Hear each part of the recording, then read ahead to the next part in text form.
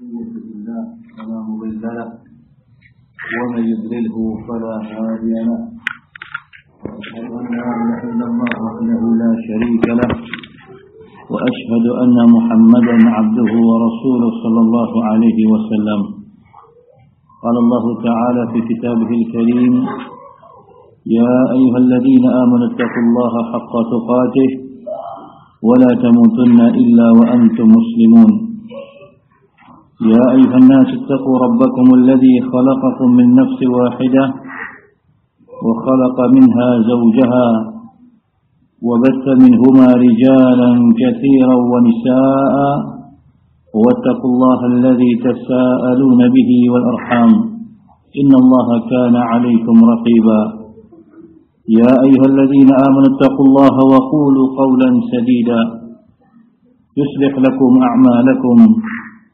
ويغفر لكم ذنوبكم ومن يطع الله ورسوله فقد فاز فوزا عظيما. أما بعد فإن أصدق الحديث كتاب الله وخير الهدي هدي محمد صلى الله عليه وسلم وشر الأمور محدثاتها فإن كل محدثة بدعة وكل بدعة ضلالة وكل ضلالة في النار. أعاذني الله وإياكم من الضلالة ومن النار أيها المسلمون عباد الله إخواني في الدين رحمني ورحمكم الله Kembali kita bersyukur kepada Allah Subhanahu wa taala dan tanpa henti tentunya kita mengucapkan atau memanjatkan rasa syukur kita kepada Allah Subhanahu wa taala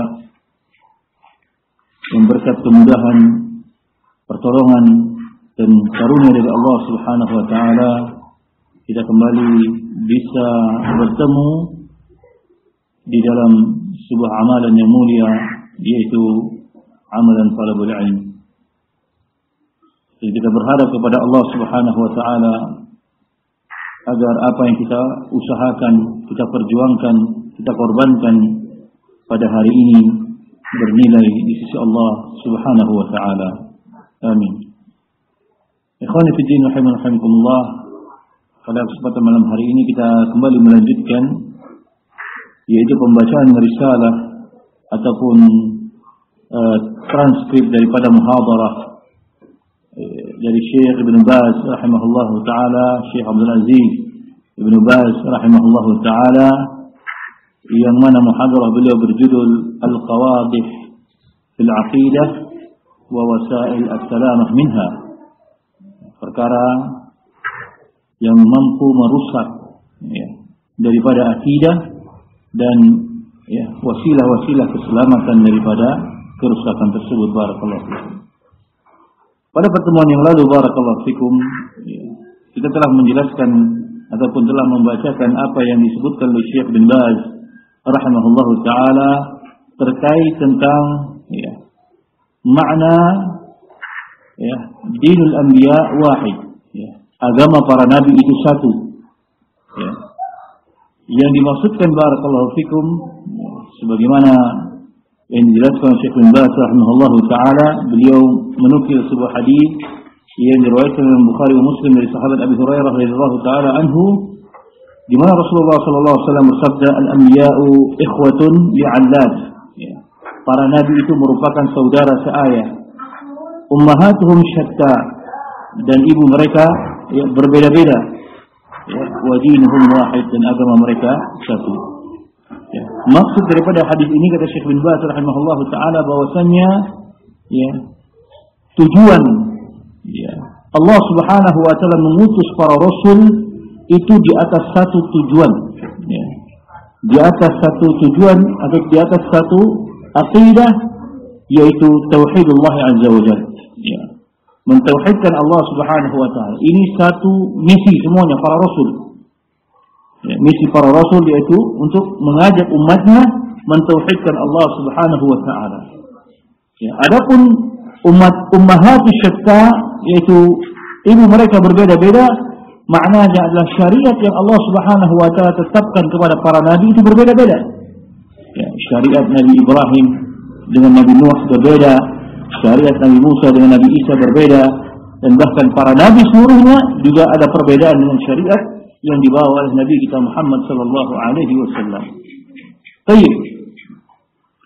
Sekarang kita masuk kepada uh, kalimat yang berikutnya yang disebutkan oleh Syekh bin Baz rahimahullah taala wa makna la ilaha illallah ya.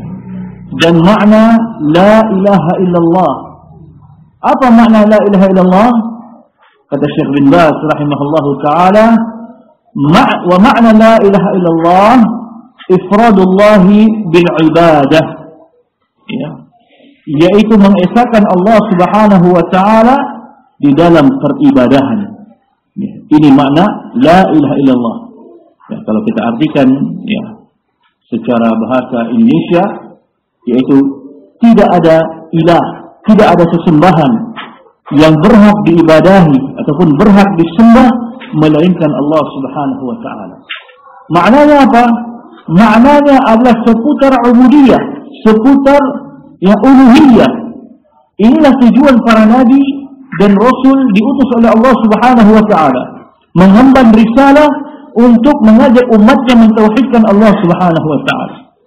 Sekali lagi, Ar-Rasul diutus misi utamanya bukan meluruskan rububiyahnya kaum musyrikin. Kaum kafirin, lah. Tapi tujuan utama Rasulullah SAW diutus dan demikian pula para nabi yang lainnya adalah untuk meluruskan uluhiyah, ya, peribadahan, ya, para ya, umatnya menuju peribadahan yang dikatakan ifradullah bil ibadah mengesahkan Allah Subhanahu wa taala dengan ibadah ibadah ay dalam peribadahan barakallahu fikum. Naam. Kemudian ikhwan fillah rahimakumullah masih dilanjutkan daripada makna la ilaha illallah kalau tadi ifradullah taala bil ibadah mengesahkan Allah Subhanahu wa taala dalam ibadah.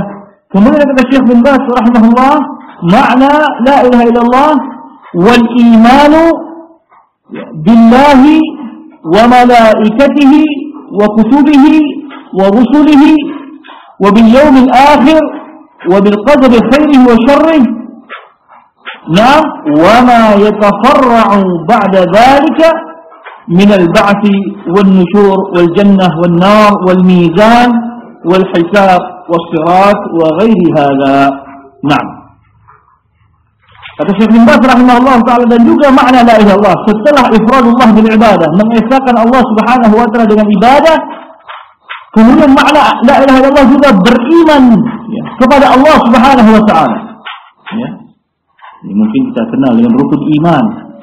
Ya. Beriman kepada Allah Subhanahu wa taala yang pertama. Ya. Mengesahkan Allah Subhanahu wa taala mengakui rububiyah uluhiyah asma wa sifat Allah Subhanahu wa taala. Mengakui ya perbuatan-perbuatan Allah Subhanahu wa taala, ya, mengakui hak-hak Allah Subhanahu wa taala yang harus kita tunaikan, mengakui penciptaan Allah Subhanahu wa taala, mengakui pemberian Allah Subhanahu wa taala, mengakui segala hal yang datang kepada kita ya, yang hidup di muka bumi ini adalah itu dari Allah Subhanahu wa taala. Sehingga kita yakin adanya Allah Subhanahu wa taala. Kita yakin adanya zat yang di dunia ini kita tidak pernah melihatnya. Ya. Zat yang tidak pernah kita melihatnya. Kalaulah orang-orang Yahudi dan Nasara, mereka yang seolah-olah ingin menggambarkan, membuktikan kepada umat bahwasannya yang namanya Roh itu bisa dilihat. Ya. Dengan cara seperti apa? Dengan cara Roh itu menyatu kepada ya, Isa bin Maryam Ya, sehingga muncullah istilah ya, trinitas. Ya, penyatuan ya, tiga unsur ya, di dalam satu roh, di dalam satu jiwa. Nah, ya. Ketika mereka bertanya kepada kaum muslimin, bagaimana kau kepada siapa engkau beribadah? Kepada Allah. Di mana Allah? Nah, kalimat di mana Allah jika mereka orang-orang yang tidak belajar agama Allah, tidak membaca Al-Quran, mentadaburi Al-Quran, mempelajari ilmu syar'i, maka dia akan kebingungan. Iya ya, di mana Allah? Sedangkan orang Nasrani punya Allah, punya Rabb, mereka terlihat. Bahkan di setiap kanisah-kanisah, di setiap gereja-gereja mereka, ya mereka gantung perwujudan ya gambaran roh subhanallah. Dan kaum muslimin kepada siapa kalian beribadah? Kepada siapa kalian rukuk dan sujud? Kepada Ka'bah. Ya. subhanallah. Maka kita katakan kepada mereka yang mempertanyakan aina Allah maka kita katakan Ar-Rahmanu ala arsyistawa Ar-Rahman, Allah subhanahu wa ta'ala beristiwa di atas arasnya. Ya. Bagaimana kau tahu? Allah subhanahu wa ta'ala sendiri yang mengatakannya di dalam kitab suci Al-Quran. Nah. Lalu bagaimana pembuktian yang lainnya? Pembuktian yang lainnya adalah adanya Allah dengan melihat fenomena-fenomena alam yang ada di sini, ya bagaimana ya adanya bumi yang terhampar, ya adanya tumbuhan yang hidup, adanya hewan-hewan, adanya manusia, ya, adanya siang dan malam, adanya matahari dan bulan. Ya. Ini bertanda bahwasanya Rabb itu ada. Ya. Allah Subhanahu wa taala itu ada. Ya. Lalu bagaimana tandanya lagi? Ya. Apa lagi tanda bahwasanya engkau beribadah kepada Allah? Ya. Dengan diutusnya Ar-Rasul sallallahu alaihi wasallam. Ya, dengan datangnya Rasulullah sallallahu alaihi wasallam. Ya, Muhammad bin Abdullah. Ya, yang mana beliau adalah utusan Allah Subhanahu wa taala. Ya, yang mana ya, kita beriman kepada dirinya yang membawa risalah ya, dari Allah Subhanahu wa taala sehingga barakallahu fikum walaupun kita tidak melihat Rabb kita Ya, dan memang itulah yang pantas. Ya, itulah yang pantas. Ya, itulah yang hak bagi Allah Subhanahu wa taala. Allah terlalu suci untuk memperlihatkan dirinya di dunia. Dunia yang dia katakan hina. Dunia sama dunia li'annahu janin. Dunia itu dikatakan dunia, disebut dunia disebabkan karena dia rendah. Ad-janin, rendah maka tidak pantas Allah Subhanahu wa taala ya, dengan maha keagungan Allah Subhanahu wa taala untuk memperlihatkan diri di dunia. Bahkan Nabi Musa alaihi salatu wassalam ketika ingin meminta diperlihatkan Allah Subhanahu wa taala ya, Allah belum memperlihatkan dirinya. Ya. Gunung-gunung. Itu mulai goyang. Bahkan Nabi Musa alaihissalam terhempas. Ya, sampai pingsan, tidak sadarkan diri barakallahu fikum. Dunia ini tidak pantas bagi Allah Subhanahu wa taala karena dunia ini adalah rendah. Sehingga bagaimana mungkin? Ya, kalian menyamakan antara Allah Subhanahu wa taala yang mampu menyatu kepada manusia yang lemah, yang baik. Maka ini mustahil. Ini tidak pantas bagi Allah Subhanahu wa taala. Nah, ikhwani fi din rahimakumullah, beriman kepada Allah Subhanahu wa taala itu adalah hak yang harus diimani oleh ya, seluruh manusia wabil khusus kaum mukminin, kaum muslimin. Nah. Kemudian kata Syekh bin Baz rahimahullah, wal imanu ataupun beriman kepada malaikat, malaikat malaikat Allah Subhanahu wa taala. Ya. Yang ini juga harus kita yakini bahwasanya Allah Subhanahu wa taala memiliki para malaikat yang selalu senantiasa menjalankan apa yang Allah Subhanahu wa taala perintahkan dan memang para malaikat Allah Subhanahu wa taala takdirkan mereka tidak pernah melakukan kesalahan dosa berbeda dengan manusia ya, berbeda dengan manusia. Nah namun jika ditanya lebih mulia mana antara malaikat dengan manusia? Ya. Maka para ulama menyebutkan bahwasanya antara malaikat dan manusia itu lebih mulia manusia daripada malaikat. Kenapa? Lebih mulia manusia yang bertakwa kepada Allah Subhanahu wa taala. Kenapa demikian? Karena manusia diberi ujian oleh Allah Subhanahu wa taala diberi ujian oleh Allah Subhanahu wa taala agar dia ya mampu harus menghadapi itu semua. Adapun para malaikat tidak diberi ujian oleh Allah Subhanahu wa taala. Mereka hanya diperintah sami'na wa ata'na. Adapun manusia, ya, jin dan manusia, mereka harus melewati tahapan demi tahapan ujian yang mungkin berat dirasa. Ya. Allah ingin melihat siapa di antara mereka yang jujur keimanannya dan siapa di antara mereka yang berdusta. Maka bagi mereka yang jujur keimanannya, mereka lah lebih mulia dari para malaikat. Lebih mulia daripada para malaikat. Nah. Kemudian beriman kepada kitab-kitabnya. Ya. ya. Kita harus meyakini kitab-kitab Allah Subhanahu wa taala yang diturunkan oleh para kepada para nabinya, para rasulnya. Ya, tidak hanya beriman kepada Al-Quran saja. Kita beriman, kita yakin Allah menurunkan Injil kepada Nabi Isa alaihissalatu wassalam. Allah menurunkan Taurat kepada Nabi Musa alaihissalatu wassalam. Demikian pula para nabi yang lainnya yang disebutkan dalam Al-Quran yang Allah subhanahu wa ta'ala katakan sendiri mereka diberikan kitab suci maka kita yakin kita harus beriman dengan apa yang Allah subhanahu wa ta'ala dan Rasulnya khabarkan barakallahu dan semua kitab-kitab yang Allah subhanahu wa ta'ala turunkan kepada para anbiya wa rasul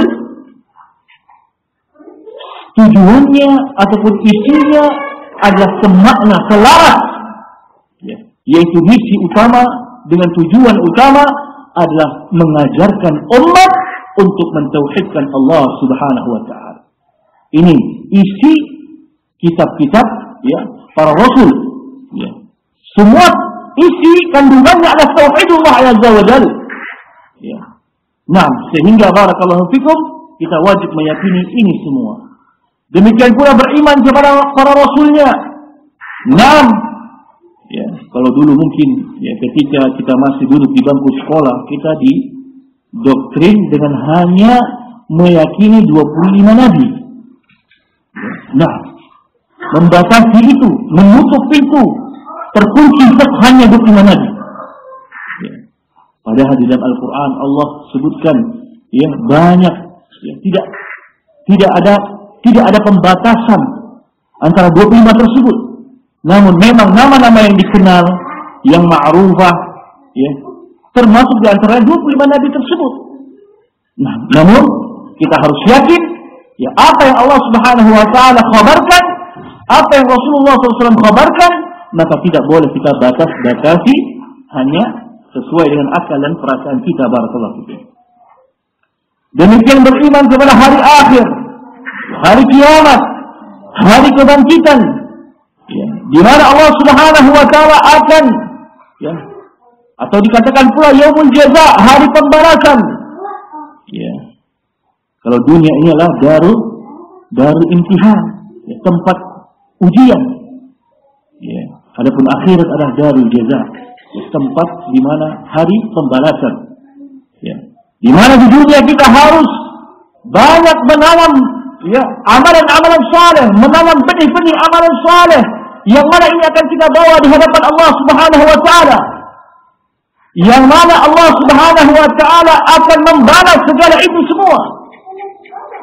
Baik perbuatan yang baik ataupun perbuatan yang jelek barakallahu fikum.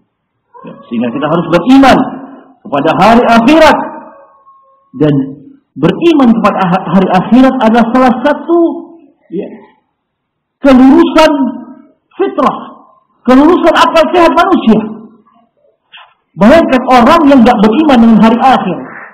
Ya. Orang yang hanya beriman ya, dengan kehidupan dunia kehidupan ini saja. Setelah dunia ini hancur ya sudah. Tidak ada yang namanya hari kebangkitan, tidak ada namanya hari akhirat. Ya. Subhanallah. Ya. Lalu di mana bentuk keadilan Allah Subhanahu wa taala kalau hanya membatasi dari sisi kehidupan dunia saja. Ya, kalau gitu, mari kita bersenang-senang kehidupan dunia ini. Ya. Orang jahat, ya. Kalau semua manusia beriman ataupun meyakini tidak ada hari akhirat, tidak ada hari kebangkitan pembalasan, pasti dunia ini dipenuhi oleh orang-orang yang bermaksiat, mengkufuri Allah Subhanahu wa taala atau bisa dijadikan mereka semua akan kufur kepada Allah Subhanahu wa taala karena al-hawa nafsu mereka yang mereka ikutkan dan mereka yakin yang tidak ada hari pembalasan. Maka mari kita bersenang-senang di kehidupan dunia ini. Subhanallah. Ada juga yang mengatakan, wah nggak logis kalau ada hari kebangkitan. Bagaimana mungkin kita dibangkitkan? Bagaimana mungkin? Ya kita sudah dikubur, mati, hancur. Bagaimana mengumpulkan tulang belulang kita lagi? Bagaimana caranya? Seolah-olah ingin mengajak Allah Subhanahu wa taala untuk berlogika. Ya. Mungkin pernah kami sampaikan, lawas kita mengulang kembali bagi sebelum kita menjawab ini, maka mari kita melihat fakta yang sudah terjadi. Ya, kalau hari kebangkitan itu memang belum terjadi. Ya, sehingga orang gimana caranya? Bingung. Ya, maka mari kita ingatkan mereka kepada hal yang sudah terjadi dan sudah diyakini oleh ya, seluruh agama. Bagaimana Allah Subhanahu wa taala menciptakan Nabi Adam alaihissalatu wassalam tanpa air dan tanpa ibu. Ya. Dari tanah. Ya. Yang Allah Subhanahu wa taala jadikan ya, sosok manusia yang paling sempurna ya, di muka bumi ini. Ya. Demikian pula Allah mampu kita menciptakan Nabi Isa alaihissalatu wassalam tanpa ayah. Dengan adanya, dengan lahir dari rahim seorang ibu. Allah mampu menciptakan yang demikian. Lalu apa yang membuat Allah subhanahu wa ta'ala tidak mampu ketika mengumpulkan tulang belulang itu menjadi satu. Ya, membangkitkan kembali orang-orang yang telah mati. Dari sisi mana?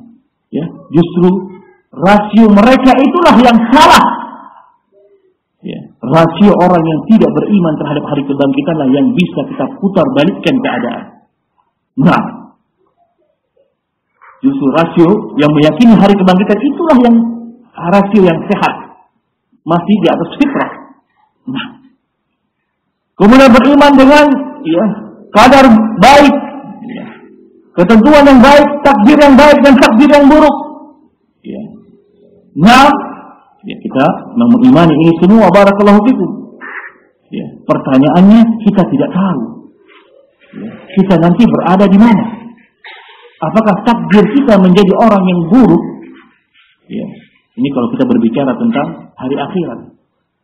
Apakah kita tempat kita di neraka ataupun tempat kita di surga? Maka ini belum ada jaminan dari Allah Subhanahu wa taala. Namun tetap kita harus meyakini bahwasanya Allah Subhanahu wa taala yang Maha mentakdirkan ya apa pun yang Allah Subhanahu wa taala kehendaki. Wa ma yatafarra'u bi ba'da dalika dan apa-apa yang ya sifatnya bercabang ya dari ya, setelah itu. Ya, jadi ya, dari rukun iman tadi ada hal-hal lagi yang bercabang ya seperti minal ba'ats wan nusyur itu sama maknanya hari kebangkitan. Jadi beriman kepada hari akhirat adanya hari kebangkitan. Wal jannah wan nar wal mizan. Ya adanya surga dan neraka. Ya adanya ya timbangan adanya hisab perhitungan adanya sirat ya jembatan. Wa ghairi hadza dan selain daripada ini barakallahu fikum. Maka seorang muslim ya wajib mengimani ini semua karena memang ini datangnya dari Allah Subhanahu wa taala dan Rasulnya.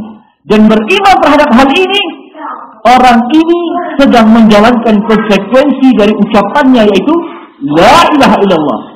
Tidak ilah yang berhak diibadahi melainkan Allah Subhanahu wa taala. Maka jika ada seorang yang tidak beriman terhadap hari kebangkitan, ya, maka kalimat yang diucapkan kalimat la ilaha illallah itu tidak akan ada manfaatnya. Walaupun dia mengucapkan setiap hari la ilaha illallah, la ilaha illallah. Pagi, sore, ya malam, dia ucapkan kalimat la ilaha illallah, tapi dia tidak meyakini hari kebangkitan. Ya, maka kalimat la ilaha illallahnya itu tidak akan memberikan manfaat ya kepada dirinya sedikit pun barakallahu fikum. Kemudian kata Syekh bin Baz rahimahullahu taala wa hakadha al-anbiya'u dinuhum wahidun. Dan demikianlah para nabi, agama mereka satu, kulluhum ja'u bihadzal amri alaihi salatu wassalam ya setiap mereka para nabi itu datang dengan perintah ini. Ya. Alaihi salatu wassalam. Walakin ya, perintah ini maksudnya perintah mentauhidkan Allah Subhanahu wa taala. Walakin asy-syara'i'u ya tafarraqat ya akan tetapi syariat-syariat mereka itu berbeda-beda barakallahu fikum ya. Naam. Bimasabatil auladi li ummahatil allad ya. Berbeda sebagaimana keadaan ya anak-anak yang satu ayah namun berbeda-beda ibunya ibu mereka. Ya ini masih dari ya, penggambaran hadis Nabi yang dijelaskan oleh Syekh bin Baz rahimahullah taala.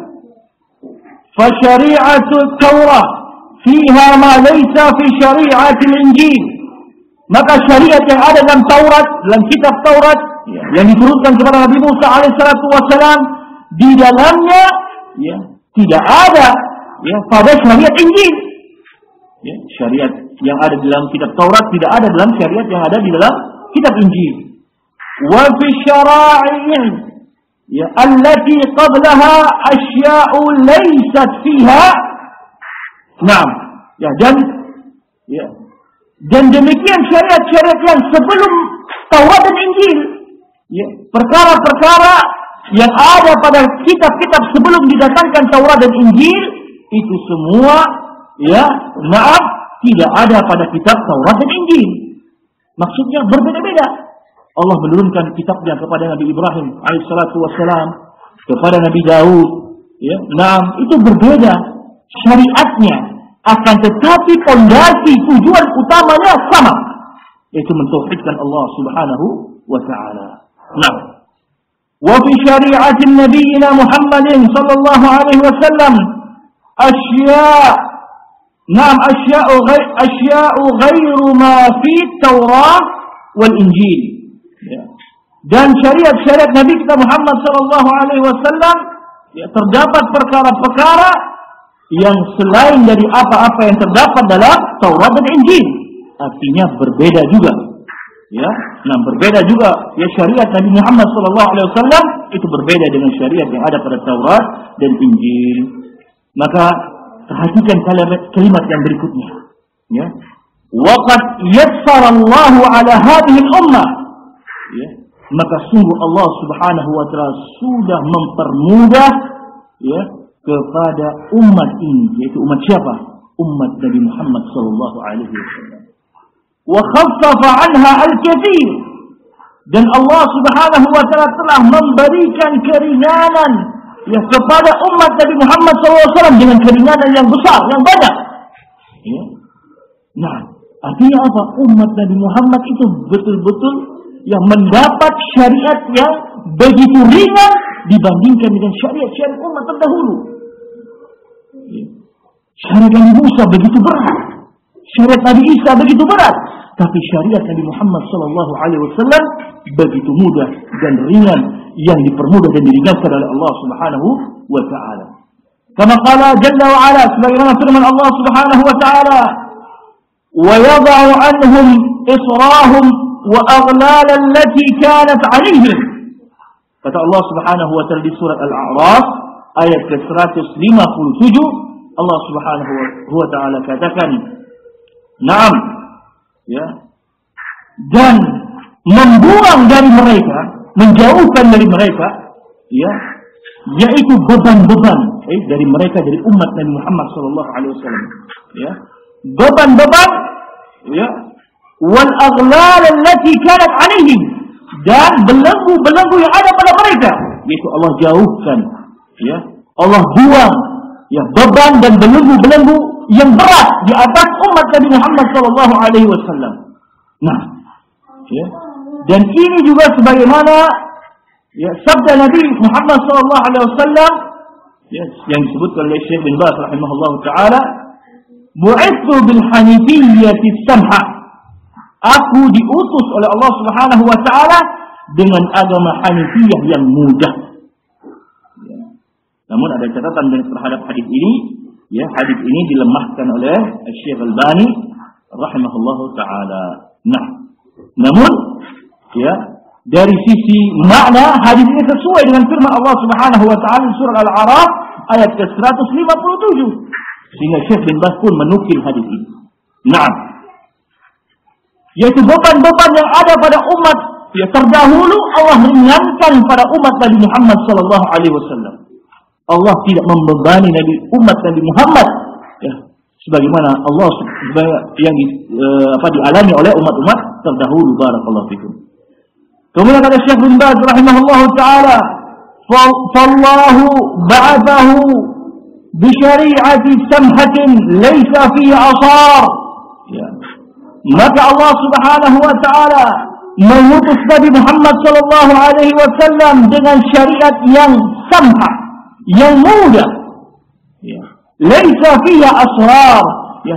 Tidak ada padanya pada syariat Nabi Muhammad SAW itu beban. Ya. Tidak ada perkara-perkara yang memberatkan. Ya. Jadi syariat Nabi kita Muhammad SAW. Ya.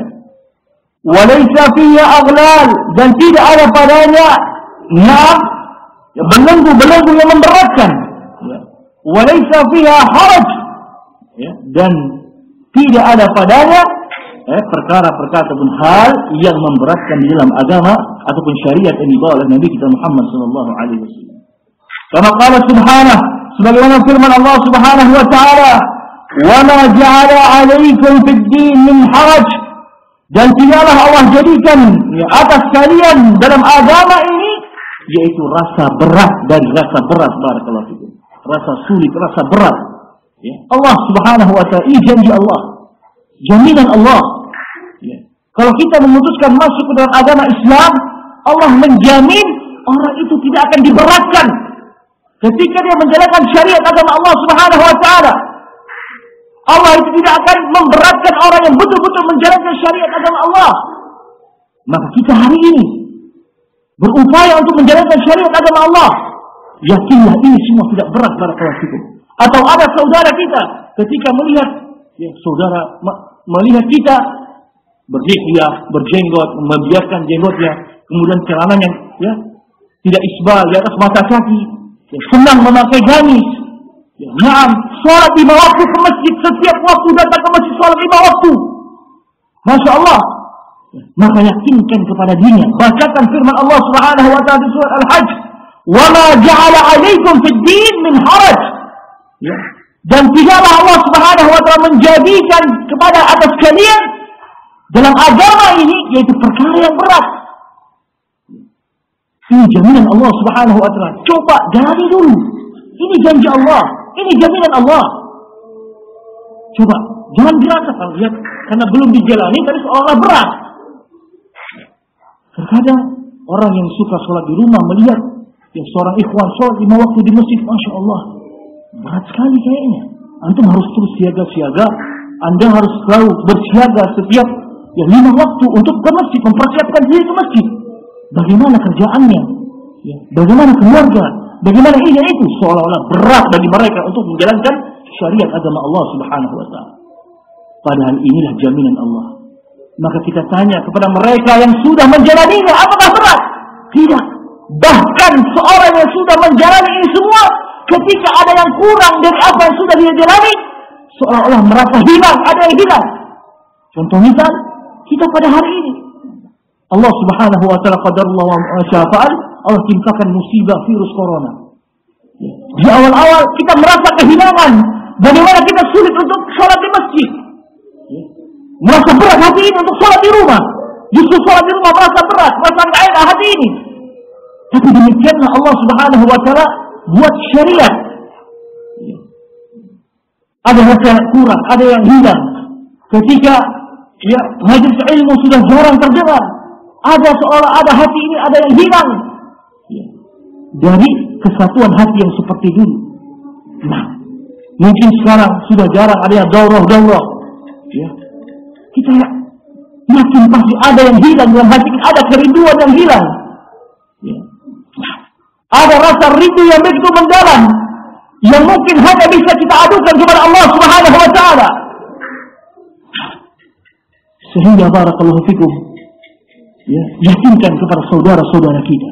Yakinkan kepada sana keluarga kita yang belum mau untuk berislam di atas sunnah Nabi kita Muhammad sallallahu alaihi wasallam, maka yakinlah jaminan Allah Subhanahu wa taala tidak akan berat.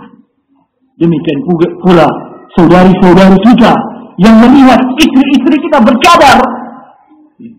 Wah, berat sekali. Kalian harus menutup diri kalian. Bagaimana dengan tetangga? Apa kata tetangga nanti? Bagaimana kalian bermuamalah nanti dengan orang-orang yang lainnya? Bagaimana kalian kalau kalian ke pasar keinginan itu? Subhanallah. Ya. Mereka belum menjalani. Belum menjalani, mereka sudah memfonis. Maka bacakan firman Allah Subhanahu wa taala. أنت يكن الله سبحانه وتعالى سبحانه ربه. نعم. أنت يكن القرآن سبحانه كتاب الله سبحانه كلام الله. نعم. أنت يكن أفا الله سبحانه وتعالى جنجيك جمنك إتو حق إتو نعم. مكا بجاكا وما جعل عليكم في الدين من حاج. مكا الله الله سبحانه وتعالى تيجأ من جديكا أتس كليا في دار أدرائني sesuatu ataupun dari perkara yang berat. Jalani dulu. Jalani dulu. Bahkan bayangkan ya, ya istri-istri orang-orang yang bercadar itu ya, ketika dia hendak keluar rumah ya, pasti dia berwas-was diri keluar keluar dari rumah itu opsi yang paling terakhir dia pilih karena kebutuhan darurat ya tidak seperti orang-orang pada umumnya bermudah-mudahan. Ya main ke sana ke sini emang untuk mencari hiburan keluar daripada rumahnya. Kemudian dia harus merasa sudah siapkah aku untuk keluar rumah? Sudah tertutupkah semua awatku untuk keluar rumah? Ada rasa itu yang dia persiapkan. Ya. terjaga dengan sendirinya. Karena memang mudah menjalaninya barakallahu fikum. Sehingga ikhwani fid din rahimani wa rahimakumullah jami'an. Ini juga sesuai dengan firman Allah Subhanahu wa taala di surat Al-Baqarah ayat 286 di mana Allah Subhanahu wa taala katakan la yukallifullah nafsan illa wus'aha. Allah Subhanahu wa taala tidak membebani seseorang hamba melainkan sesuai dengan ya kadar kesanggupannya sesuai dengan kemampuannya barakallahu fikum. Ya. namun fenomena yang tersebar di masyarakat terkadang seorang membawakan dalil ini ketika ayolah kita sholat di masjid lima waktu. Ayolah. Ya sudahlah jenggotnya itu bagus jangan dicukur lagi. Biarkan saja tunggu. Biar gagah biar keren. Ya gitu ya. Kemudian dia katakan aduh la yukallifullahu nafsan illa wus'aha Allah Subhanahu wa taala tidak membebani sesuatu itu di luar kesanggupan daripada hambanya. Saya belum sanggup, saya tidak bisa. Maka dia berdalilkan dengan dalil yang hak, tapi penempatannya yang salah barakallahu fikum. Ya. Tidak di sini menempatkan dalil itu barakallahu fikum. Yang dimaksudkan dengan Allah Subhanahu wa taala tidak membebani ya kepada seorang hambanya di ataupun di, di bawah kesanggupannya itu dalam keadaan dia sudah berusaha dulu secara maksimal. Dan memang belum bisa dia lakukan maka di situlah kadar yang kesanggupan dirinya barakallahu fikum. Nah, maka kita cari kepada permisalan yang lainnya. Contoh salat. Ya, salat. Seorang hukum asal salat itu berdiri. Ya. namun ketika dia tidak mampu untuk beri dalam keadaan dia sudah berusaha dengan maksimal Kemudian kata dokter, Anda jangan berdiri dulu sholat. Sudah, sholat tidur saja. Ya. Karena kalau berdiri nanti sendi-sendinya akan demikian dan demikian. Baik dokter, saya sholat sambil tiduran saja. Ya. Ini maksudnya. Allah tidak akan memberatkan seorang manusia di di luar kesanggupan dirinya. Ini dari satu makna contoh. Contoh yang lainnya, ya, yakinlah terkadang seorang ketika ditimpa ujian seolah itu akhir dari segala-galanya. Ketika dia diberikan musibah, diberikan bencana oleh Allah Subhanahu wa taala, seolah-olah musibah itu bencana itu itulah akhir hidup akhir kehidupannya. Seolah dia tidak akan mampu lagi untuk hidup. Mungkin kita ambil contoh seorang apa uh, suami dan istri sudah berpuluh tahun mendambakan seorang anak. Ketika anak tersebut akhir yang dicita-citakan itu Allah ijabah doa mereka. Allah kabulkan ya. istrinya hamil. Ya. Senangnya luar biasa. Ya. Masya Allah bersyukur kepada Allah. Dia semangat itu bersedekah berinfak dengan rasa syukur itu kepada Allah. Namun ketika anak itu lahir, baru seumur jagung, baru mungkin lima bulan, enam bulan, Allah subhanahu wa ta'ala ambil kembali. Allah subhanahu wa ta'ala ambil kembali anak itu. Allah wafatkan anak itu. Maka kemudian dia beranggapan hancur hidup. Sudah hancur hidup. Sudah aku tidak bisa hidup lagi. Allah memberikan ujian yang aku tidak sanggup untuk menghadapinya. Subhanallah. Padahal ayat ini ya jaminan Allah Subhanahu wa taala ketika Allah Subhanahu wa taala menguji seorang hamba itu pasti hamba tersebut di atas kemampuannya untuk dia hadapi ujian tersebut, hadapi musibah tersebut. Mampu. Seorang hamba itu pasti mampu melewati itu. Namun mau ataukah tidak mau, kuat atau tidak imannya, itu ada pada diri hamba tersebut. Pasti mampu kita melewati ini. Ya. Pandemi ini. Ya. Pasti kita mampu melewatinya. Karena Allah subhanahu wa ta'ala janjikan dengan ayat ini. Ya. Allah tidak akan ya memberat-beratkan manusia. Ya. Memberikan ujian dan berat kepada manusia dan pada manusia itu tidak sanggup untuk melewatinya. Maka ketika ujian itu datang, apa pun itu, yakinlah dengan firman Allah Subhanahu wa taala ini, kita pasti bisa melewatinya. Karena Allah memberikan ujian itu pasti di atas kesanggupan hambanya. Namun tolak ukurnya adalah ya keimanan hamba tersebut. Apakah selama ini iman tersebut dipupuk di atas takwa kepada Allah ataukah dia lelaikan di atas kemaksiatan-kemaksiatan kepada Allah Subhanahu wa taala. Sehingga ya, orang yang memiliki iman yang tinggi, yang kokoh, maka dia akan merasa mudah ya, bahkan sampai pada tingkat kata Imam Al-Qayyim bersyukur terhadap musibah yang Allah Subhanahu wa taala berikan kepada diri. Ini sebuah tingkat yang luar biasa. Ya. Seorang hamba kalau diuji oleh Allah malah dia bersyukur kepada Allah. Bukan dia bersedih, bukan dia kecewa, tapi dia bersyukur telah diberikan ujian ini kepada Allah.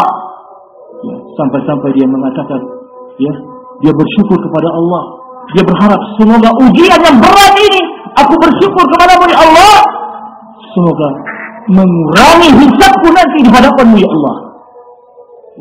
Mengurangi ya hisabku nanti di ya di hadapanmu ya Allah dengan engkau telah memberikan kafarah ya ketika aku di dunia engkau timpakan ujian seperti dia bersyukur kepada Allah Subhanahu wa taala.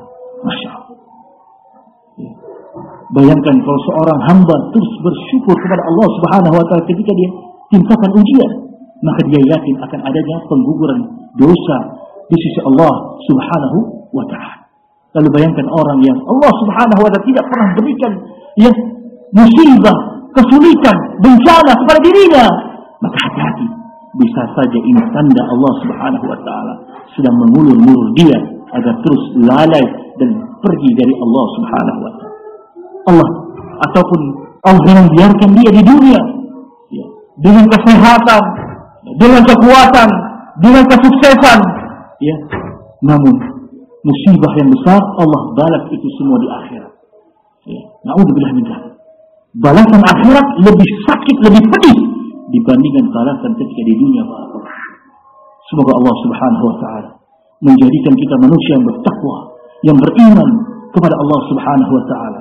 Semoga Allah Subhanahu wa taala kokohkan kita di atas Islam, di atas sunnah Nabi Muhammad sallallahu alaihi wasallam sampai Allah Subhanahu wa taala menjemput kita barakallahu fikum sampai Allah Subhanahu wa taala mewafatkan kita di atas tauhid was sunnah yang ini kita harapkan kepada Allah Subhanahu wa taala sampai kita bertemu dengan Allah Subhanahu wa taala wa naktafi bihadzal miqdar subhanallahi wa bihamdik أشهد أن لا إله إلا أنت أستغفرك وأتوب إليك. والسلام عليكم ورحمة الله وبركاته.